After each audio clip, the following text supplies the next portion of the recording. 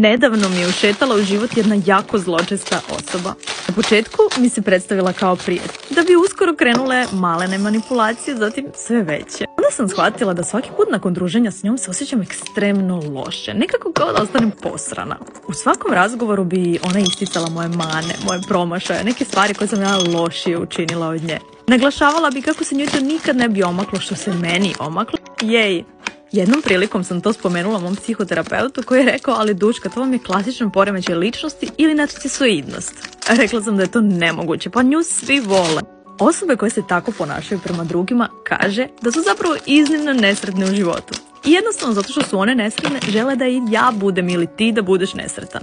Zavidne su, nezadovoljne i iskompleksirane. Kad sam prevrtila unazad naše razgovore sam zapravo sve to shvatila ona je bila nesredna, ne ja. Sa njom se više ne čujem ni ne vidim. A kako ti se sviđa moja nova slatka ladica?